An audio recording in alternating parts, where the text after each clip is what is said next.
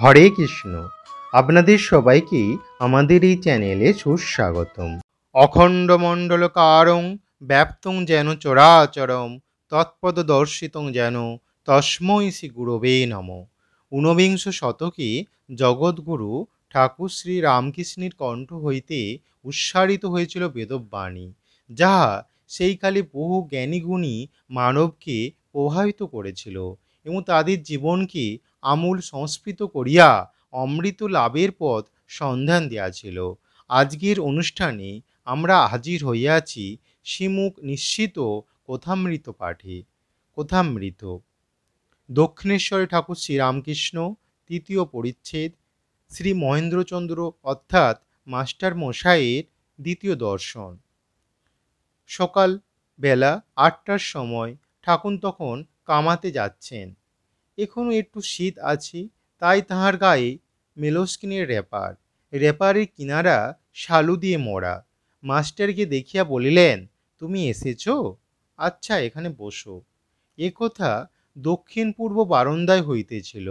নাপিত উপস্থিত সেই বারন্দায় ঠাকুর কামাইতে বসিলেন ও মাঝে মধ্যে মাস্টারের সহিত কথা কইতে লাগলেন, গায়ে ওইরূপ র্যাপার পায়ে চটি জুতো সাহস্য বদন কথা কইবার সময় কেবল একটু তোতলা।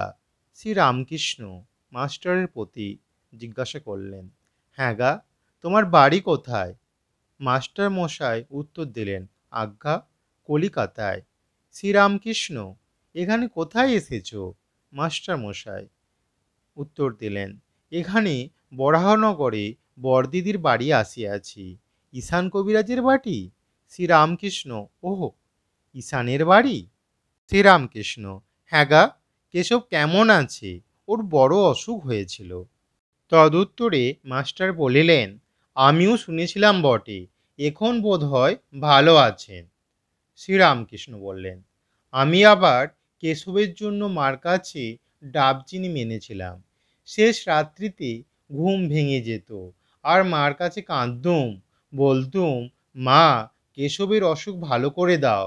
কেশব না থাকলে আমি কলকাতায় গেলে কার সঙ্গে কথা কইব? তাই ডাবচিনি মেনেছিলাম। হ্যাঁ গা, কুক সাহেব নাকি এসেছেন? সে নাকি লেকচার দিচ্ছে। আমাকে কেশব জাহাজে তুলে নিয়ে গিয়েছিল। কুক সাহেবও ছিল। মাস্টার, আজ্ঞা, এইরকম শুনেছিলাম বটে, কিন্তু আমি তার লেকচার শুনি নাই। আমি তাহার বিষয়ে বিশেষ কিছু জানি না। গৃহস্থ পিতার কীরকম কর্তব্য করা উচিত? শ্রীরামকৃষ্ণ, প্রতাপের ভাই এসেছিল। এখানে কয়েকদিনও ছিল। কাজকর্ম নাই, বলে আমি এখানে থাকব। শুনলাম, মাঘ ছেলে সব শ্বশুর বাড়িতে রেখেছে। অনেকগুলো ছেলে পেলে। আমি বগলাম দেখ দেখি, ছেলে পিলে হয়েছে। তাদের কি আবার ও পাড়ার লোক এসে খাওয়াবে, দাওয়াবে, মানুষ করবে? লজ্জা করে না যে মাঘ ছেলেদের আরেকজন খাওয়াচ্ছে আর তাদের শ্বশুরবাড়ি ফেলে রেখেছ? অনেক বগলুম। আর কর্মকাজ খুঁজে নিতে বললাম, তবে এখান থেকে সে থেকে যেতে চায়।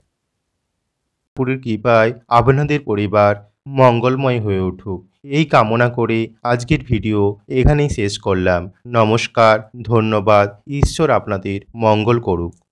আজকের ভিডিও দিয়ে থাকি, তবে অবশ্যই লাইক কমেন্ট এবং শেয়ার করতে ভুলবেন না এবং আমাদের চ্যানেলটিকে সাবস্ক্রাইব করে আমাদের পাশে থাকুন।